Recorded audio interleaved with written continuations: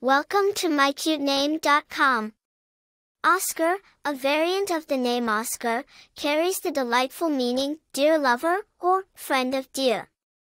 It alludes to a gentle, nature-loving soul, evoking images of peaceful forests and a connection to the natural world. In a broader sense, this name symbolizes someone who is friendly, gentle, and caring. The name Oskar boasts of Old Norse roots, derived primarily from Asker, which comprises of as, meaning God, and ger, referring to spear.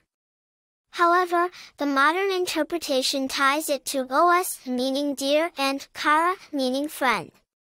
Popular within Scandinavian and German-speaking countries, Oskar has seen several famous historical bearers that have led to its increase in popularity over time.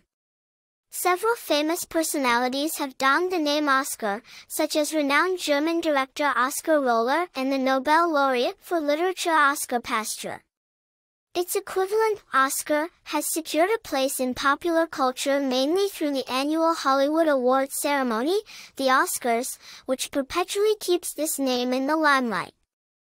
The name bears an air of sturdy classicism, transporting one back to ancient times marked by valor and the spirit of friendship.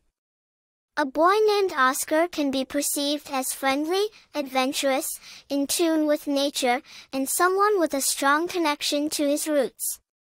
The name Oskar beautifully intertwines the robust essence of history, a unique charm, and a love for nature.